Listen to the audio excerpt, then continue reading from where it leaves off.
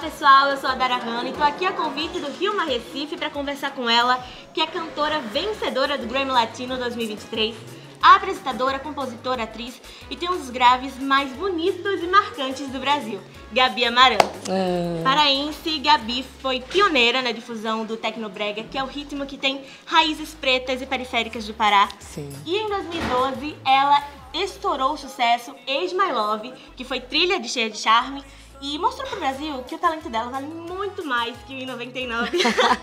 Boa noite, Gabi, seja muito bem-vinda. Boa noite, Adara, obrigada, alegria estar aqui com vocês.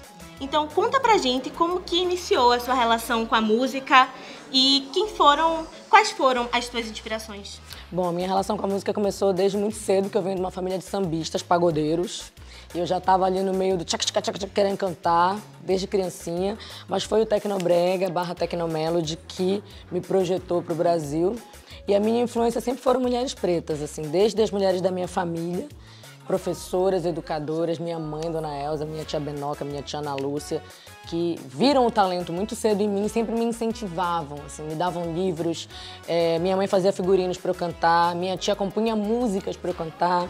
Então essas mulheres elas me acolheram e elas é, incentivaram a minha arte, vendiam CD comigo no começo da carreira e hoje eu só tenho a agradecer as minhas antepassadas por todo o apoio que elas me deram.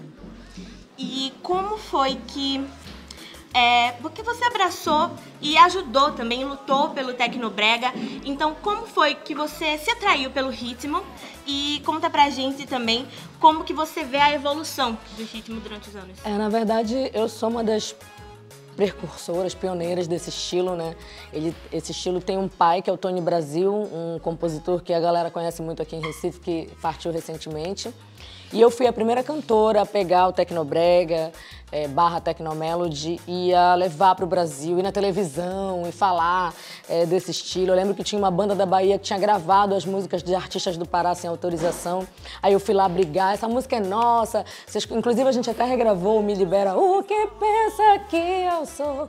A galera conheceu essa música no Brasil por outros artistas que não eram no Pará. Então eu ia lá e sempre trazendo, gente, essa música é nossa, a música é do Pará, esse movimento é nosso.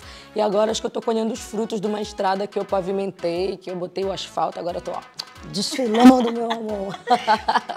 e olha só, quando Gabriela Amaral Santos se reconheceu como uma mulher preta e quando Gabi Amarantos se reconheceu como uma referência para outras pessoas pretas? Uma mulher preta desde sempre. Eu sou de uma família que da parte do meu pai são pessoas que são negras retintas e a gente sempre cresceu no meio dessa cultura. É, a minha família morava num bairro no interior do Pará, em Garapemiri, que chamava Bairro da África, porque nós todos é, sempre fomos negros e como nós éramos um grande número de pessoas negras retintas juntas, as pessoas começaram a falar, ah, lá naquele bairro que só tem africano. Aí a gente pegou esse nome, é, sim, somos africanos, somos do bairro da África. Então, desde criancinha, eu cresci vendo o orgulho do, do, da minha família com a negritude. E a Gabi Amarantos, acho que só entendeu que era referência depois de ver as mulheres na frente do palco, vindo falar comigo, dizendo que elas também estavam querendo conquistar o sonho delas porque elas viram em mim alguém que mostrou para elas que era possível. Então, isso é de dar muita alegria no coração.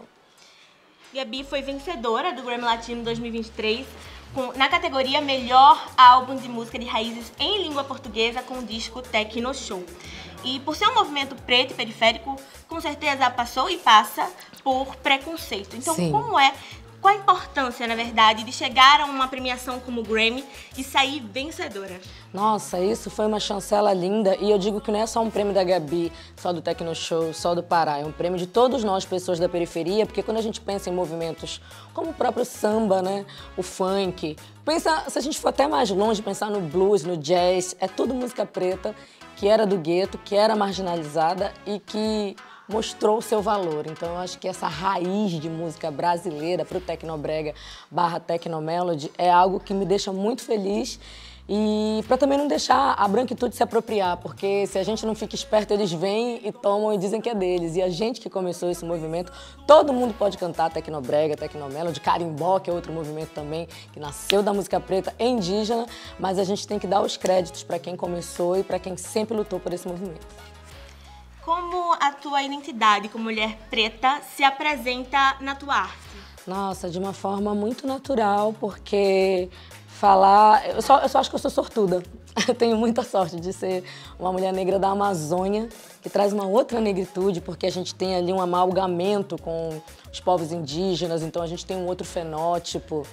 E eu me sinto muito sortuda, muito abençoada, uma grande gostosa, maravilhosa, mulher preta dos Jurunas da Amazônia. Olha que bênção, gente. Não é pra todo mundo, né?